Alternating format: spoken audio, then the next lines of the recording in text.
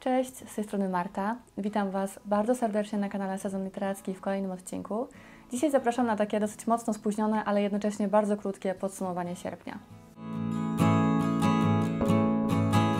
W sierpniu czytałam bardzo mało, co chyba już gdzieś wspominałam w, nie wiem, w reading vlogu albo w którymś z ostatnich filmów, że to podsumowanie będzie takie naprawdę no malutkie. No ale niestety czytanie to była jedna z ostatnich rzeczy, do jakich miałam głowę, tak więc sierpień skończyłam z trzema przeczytanymi książkami na swoim koncie. I zacznę tutaj może od książki Autobiography. To była książka, którą czytałam we współpracy z wydawnictwem Pruszyńskiej Spółka. To jest książka, która opowiada historię dwóch chłopaków, którzy spotykają się pewnego dnia i się w sobie zakochują. Natomiast e, sprawa tutaj komplikuje się pod tym względem, że o ile jeden z nich, Tanner, mimo tego, że nie jest wyautowany przed swoimi przyjaciółmi i przed znajomymi, to rodzice wiedzą o tym, że jest biseksualny, bo tutaj właśnie mamy reprezentację biseksualną i są z tym pogodzeni, wspierają go jak tylko mogą. O tyle drugi chłopak, Sebastian, to jest chłopak, który należy do społeczności i do religii mormonów. Akcja zresztą rozgrywa się w takim małym miasteczku, które właśnie jest bardzo mormońskie. Większość mieszkańców no to są właśnie mormoni, a jest to religia, tak jak wiele innych, która nie dopuszcza związku dwóch osób tej samej płci. No i właśnie Sebastian tutaj troszkę miota się sam ze sobą. On dopiero tak naprawdę odkrywa swoją seksualność. Też nie do końca wie, jak sobie z tym poradzić, bo z jednej strony ta wiara i religia w jego życiu są bardzo ważne i bardzo mu pomogły. To jest coś, co zna i gdzie czuje się bezpiecznie. Z drugiej strony, no właśnie, dowiaduje się czegoś nowego na swój temat, odkrywa siebie na nowo i trochę nie bardzo wie, co z tym zrobić, nie wie, jak się zachować, bo wie, że to, co czuje, to nie jest nic złego, ale z drugiej strony stoi to w sprzeczności z tym, czego był od dziecka uczony.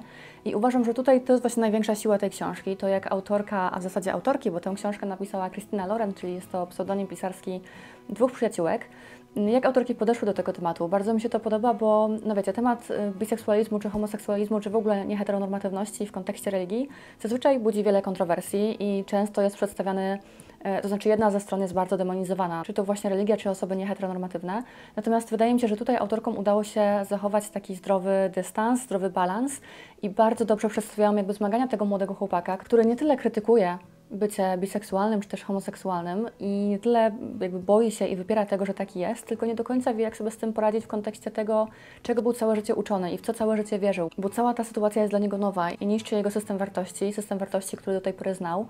Mm, także to jest naprawdę bardzo ciekawy temat i myślę, że właśnie z tego względu ta książka będzie ważna dla wielu nastolatków. Na przykład w Polsce no, mamy taką powiedzmy walkę, nie wiem jak to ująć, ale wiecie o co chodzi. Zawsze temat kościoła, a właśnie nieheteronormatywności jest bardzo trudny, bardzo kontrowersyjny i zawsze stoi do siebie w opozycji, a niekoniecznie musi tak być. I właśnie wydaje mi się, że być może wśród Polaków, katolików wiele jest takich chłopców i dziewcząt, które zmagają się dokładnie z tym samym, z czym Sebastian i właśnie myślę, że dzięki tej książce będą w stanie znaleźć tutaj kawałek siebie. Tak więc jest to naprawdę ważna i potrzebna książka dla nastolatków pod tym kątem. Ja już niestety trochę nie jestem targetem tej książki i mimo tego, że ona jest naprawdę bardzo dobra, to ja już po prostu troszkę czego innego szukam w literaturze i nie trafia do mnie tak, jakby mogła, ale wierzę, że trafi do wielu nastolatków. No i myślę, że warto po prostu po nią sięgnąć i się nią zainteresować, szczególnie jeżeli macie te 15-19 lat i zmagacie się z własnymi problemami i chcielibyście po prostu znaleźć gdzieś kawałek siebie i utożsamić się z bohaterami. Druga książka, którą udało mi się przeczytać w sierpniu, to Zanim wystygnie kawa. To jest książka, na którą miałam wielką ochotę już od bardzo dawna. Widziałam tę książkę e, w języku angielskim już dawno, dawno temu i bardzo chciałam ją przeczytać, ale później wyszła informacja, że w Polsce wydaje tę książkę wydawnictwo Relacja, więc już czekałam na polskie wydanie.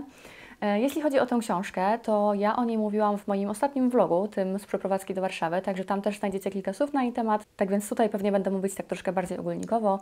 Jest to historia kawiarni, pewnej bardzo, bardzo starej e, kawiarni, która ma tam chyba ponad 100 lat, która mieści się gdzieś zupełnie na uboczu, w ogóle chyba w podziemiach e, w jednej z tokijskich ulic. Akcja rozgrywa się w Tokio, w Japonii. I ta kawiarnia jest o tyle niezwykła, że krąży taka plotka czy też legenda, że przy jednym ze stolików można usiąść i przenieść się w czasie. No ale oczywiście, jak to zwykle z takimi historiami bywa, mamy kilka zasad. Jedną z najważniejszych jest to, żeby wrócić do teraźniejszości, zanim wystygnie kawa. Czyli mamy tutaj właśnie ten tytułowy motyw, kelnerka nalewa nam kawy i zanim ona wystygnie, musimy ją przede wszystkim dopić w całości i wrócić do teraźniejszości, bo inaczej um, utkniemy tam na zawsze, coś tam innego się wydarzy. Ale zasad jest więcej. Ważne jest też to, że y, ta nasza podróż do przeszłości nie zmieni absolutnie niczego w teraźniejszości. Tak więc jeżeli w pewnej sytuacji zachowamy się inaczej, zrobimy coś innego, powiemy coś innego, to ostatecznie te wydarzenia i tak potoczą się tak, jak my to znamy z tych naszych czasów obecnych i niczego to nie zmieni. Natomiast jest to szansa do być może spotkania się z kimś po raz ostatni, do powiedzenia czegoś, czy do czego kiedyś nie miało się odwagi, do powrotu do jakiegoś momentu w życiu, który z jakiegoś powodu był dla nas bardzo, bardzo ważny.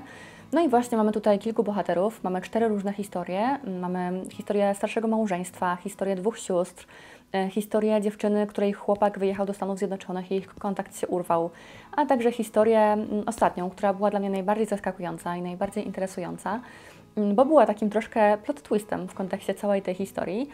E, jeżeli chodzi o styl pisania, no to jest on taki typowo japoński, bardzo delikatny, tak, taki lekko oniryczny, troszkę jakbyśmy czytali, wiecie, tak przez mgłę. No nie wiem, dla mnie to jest taki bardzo typowy japoński styl, wiele książek, znaczy nie czytałam wielu japońskich książek, ale wszystkie te, które czytałam właśnie charakteryzowały się podobnym stylem pisania, takim bardzo delikatnym, mało dosadnym, raczej wiele tutaj gdzieś tam pozostaje niewypowiedziane. Wszystko takie jest bardzo subtelne, żeby przypadkiem, nie wiem, nie przestraszyć czytelnika, ja to tak troszkę odbieram. Także mnie trochę brakuje pazura w takich książkach japońskich i tutaj również mi go zabrakło, ale na pewno jest to bardzo przyjemna książka, taka do przeczytania w jedno czy dwa popołudnia. Wydaje mi się, że jest też bardzo jesienna.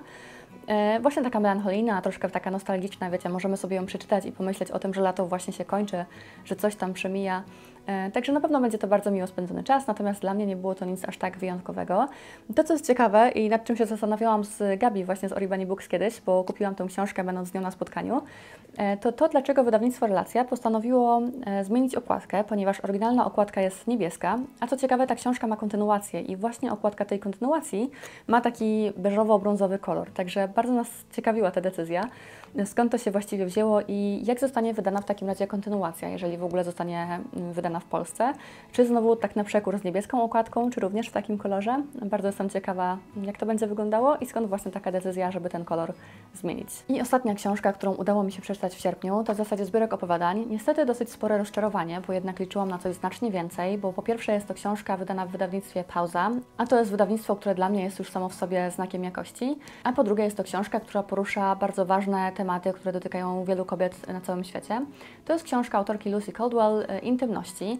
E, I miały to być takie opowiadania dotyczące właśnie problemów, z jakimi zmagają się kobiety. Przede wszystkim była tam mowa o aborcji, o macierzyństwie, o depresji poporodowej, o tym, czy mieć dziecko, czy nie mieć tego dziecka. Natomiast to, co mnie zaskoczyło, to to, że ten zbiór opowiadań sam w sobie jest podzielony na tak jakby dwa tomy. I pierwszy tom nazywa się Mnogości, z tego co pamiętam. I te opowiadania niestety dla mnie były bardzo słabe. E, to jest mniej więcej gdzieś połowa książki. E, ja właśnie bardzo się zdziwiłam, kiedy czytając, okazało się, że w środku książki są podziękowania. Tak patrzę sobie, bo czytałam tą książkę na Legimi. Zostało mi jeszcze tam, nie wiem, 150 stron do końca, a jestem już w podziękowaniach. Czy te podziękowania mogą być takie długie? No ale przeklikałam, przeklikałam i okazało się, że dopiero właśnie po tym zbiorze opowiadań jest ten zbiór intymności. I rzeczywiście ten zbiór był już o wiele, o wiele lepszy. W ogóle jakby pisała go zupełnie inna osoba, miałam wrażenie. Natomiast przez to, że przebrnęłam i trochę przemęczyłam się przez te mnogości, no to intymności już nie zrobiły na mnie aż takiego wrażenia i już trochę nie miałam ochoty ich czytać. Myślę, że gdyby albo ta książka była tylko tym zbiorem intymności, albo gdyby ten tytułowy zbiór był jako pierwszy, to wypadłoby to znacznie lepiej, bo niestety mnogości nie mają wiele do zaoferowania i nie są według mnie też dobrze napisane stylowo. O tyle intymności rzeczywiście poruszają te tematy, które gdzieś tam obiecuje nam opis tej książki. I to było coś bardziej to, czego się spodziewałam. I tak jak właśnie wspomniałam na początku, to były tematy głównie kręcące się wokół aborcji, wokół macierzyństwa, wokół planowanej, nieplanowanej ciąży. E, takie rzeczywiście, z którymi można się utożsamić, szczególnie kobiety właśnie gdzieś tam koło 30, czyli takie w moim wieku. E, myślę, że to są tematy bardzo aktualne i bardzo ważne dla nas wszystkich.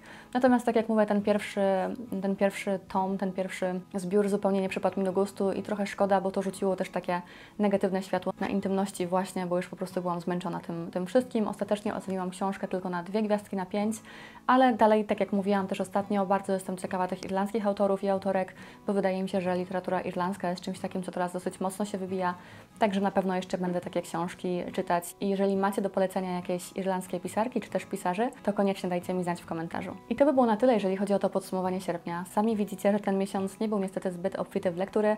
Mam nadzieję, że wrzesień będzie lepszy. Dajcie koniecznie znać, co Wam udało się przeczytać, jakie lektury polecacie, co odradzacie. Jak zawsze czekam na Wasze komentarze. Dziękuję Wam bardzo za obejrzenie tego filmu do końca i do zobaczenia w kolejnym. Cześć!